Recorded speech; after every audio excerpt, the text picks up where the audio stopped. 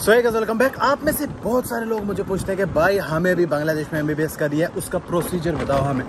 तो आज की वीडियो उसी के बारे में है। आज मैं आपको प्रोसीजर उसका बताता हूँ। सबसे पहले चलते हैं, हम कटिंग करके आते हैं, उसके बाद आपको बताता हूँ। आ गए जी, अभी कटिंग कराने के लिए। अभी मैं कटिंग करा के आ गया हूँ। अब मैं आपको बताता हूँ कि बांग्लादेश में एमबीबीएस करने के लिए क्या प्रोसीजर है। आप में से ना बहुत सारे लोग मुझे पूछते हैं कि भाई, हमें भी बांग्लादेश में एमबीबीएस करनी है। बांग्लादेश की एमबीबीएस का भाई प्रोसीजर बता दो, वहाँ पे किस तरह से करेंगे। लेकिन कौन यार ये कोई मक्खी आ गई थी। कौन से सबसे आ, मतलब क्या प्रोसीजर क्या है बांग्लादेश में एमबीबीएस करने का? वो मैं आपको आज बता देता हूँ प्रोसीजर फुल डिटेल में। आपको कैसे कैसे करनी है बांग्लादेश में एमबीबीएस पूरा गाइड कर देता हूँ। सबसे पहला और मेन क्राइटेरिया है टेंथ और ट्वेल्थ के बीच में दो साल का गैप नहीं होना चाहिए। उसके बाद ट्वेल्थ पास करने के बाद दो साल का गैप नहीं होना चाहिए आपको बांग्लादेश आने के लिए। और ट्वेल्थ में 60 परसेंट मार्क्स होने चाहिए फिजिक्स केमिस्ट्री और बायो में। 60 परसेंट के ऊपर होने चाहिए या 60 परसेंट होने चाहिए, आप एडमिशन ले सकते हो। उसके बाद जो मेन क्राइटेरिया आता है, वो है हमारा नीट नीट क्वालिफाई करना सबसे मस्ट है अभी। विदाउट नीट तो आप कहीं पे भी फॉरेन में एडमिशन नहीं ले सकते हो। नीट क्वालिफाई करने के लिए जनरल के लिए अराउंड 150 मार्क्स है में भी मुझे पूरा क्लियर पता नहीं है। और जिनकी कैटेगरीज हैं, उनका आप चेक कर लो कि कितने मार्क्स हैं, कितने मार्क्स पे क्वालिफाई होता है। तो नीट क्वालिफाई होना मस्ट है। ये दो चीज़ें आ गई, सबसे मेन क्राइटेरिया है। ये अगर आपके क्लियर हैं ट्वेल्थ के बाद दो साल का गैप ना हो और नीट क्वालिफाई हो तो आप बिल्कुल ईजी एडमिशन ले सकते हो मतलब कोई भी इशू नहीं आएगा। उसके बाद अब हमारा बात आ जाता है, अगर आप नीट जब क्लियर हो जाती है क्वालिफाई हो जाती है नीट उसके बाद हमें क्या करना है? नीट क्वालिफाई करने के बाद आप बांग्लादेश में अगर एडमिशन लेना चाहते हो तो सारे मेडिकल कॉलेजेस जो एमसीआई के रिकॉग्नाइज मेडिकल कॉलेजेस हैं, सबको एक बार देखो। जितने भी मेडिकल कॉलेजेस हैं, आप खुद रिसर्च करो कौन सा अच्छा है, किसका हॉस्टल वगैरह अच्छा है, कितना दूर है ढाका से। बेस्ट मेडिकल कॉलेजेस की मैंने वीडियो बना के रखी हुई है विद फ़ीस अगर आपको देखनी है तो वो आई कार्ड में मैं उसका लिंक दे रहा हूँ, वो आप देख लेना बाद में। तो आपको सारे कॉलेजेस चेक करने के कौन सा बेस्ट मेडिकल कॉलेज है बांग्लादेश में, और सारे कॉलेजेस को अपने आप से खुद रिसर्च करना कि कैसे कैसे कॉलेजेस हैं कैसा हॉस्टल्स वगैरह है कहाँ पे ढाका से कितना दूर है ये सारी चीज़ें देखनी। है अभी का एक ऐसा सीन है कि अभी आप बांग्लादेश का टूरिस्ट वीज़ा लगा के आप बांग्लादेश आके अपने कॉलेजेस चेक नहीं कर सकते हो क्योंकि अभी कोविड है उसके चक्कर में टूरिस्ट वीज़ा बंद हुए या तो आपका आ, ये स्टूडेंट वीज़ा पे आप आ सकते हो या कोई बिज़नेस वीज़ा है तभी आप आ सकते हो अदरवाइज़ टूरिस्ट वीज़ा लग नहीं रहा। है तो इसलिए आपको इंटरनेट पे ही सर्च करना पड़ेगा कौन सा अच्छा कॉलेजेस है कौन से अच्छे हैं आपको कौन सा सूट करता है किसकी अच्छी फ़ीस है जो आपके बजट में आती है तो उस हिसाब से आप सिलेक्ट कर लो कॉलेज अब ये चार चीज़ें क्लियर हो गई, उसके बाद आपको बांग्लादेश हाई कमीशन की साइट पे जाना है।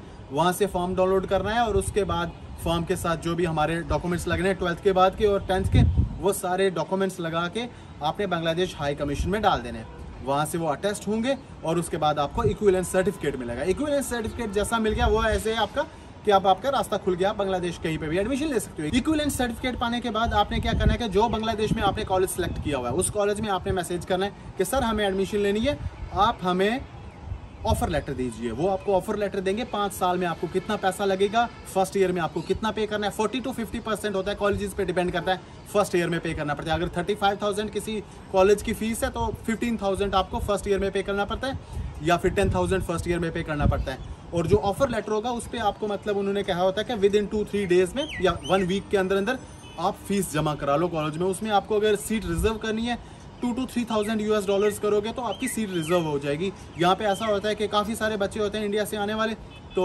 अगर आप लेट कर देते हो ऑफ़र लेटर मिलने के बाद भी अगर आप लेट करोगे तो आपको वो सीट रिज़र्व नहीं रखेंगे। जब अगर आप पैसा डालोगे, उसी के बाद ही वो उन्होंने सीट आपकी रिज़र्व करनी है और आपको एडमिशन मिल पाएगी। उसके टू टू थ्री वीक्स या four weeks within a month आपको जो फ़र्स्ट पेमेंट है फिफ्टीन थाउज़ेंड या टेन थाउज़ेंड कॉलेज के डिपेंडिंग में वो आपको पे करनी है। ये सारी चीज़ें होगी। उसके बाद आपको जब कॉलेज से एडमिशन लेटर मिल गया, आपको एडमिशन लेटर मिल गया कॉलेज से आपने फ़ीस वगैरह जमा करा ली, आपकी सीट यहाँ पे रिज़र्व हो गई है।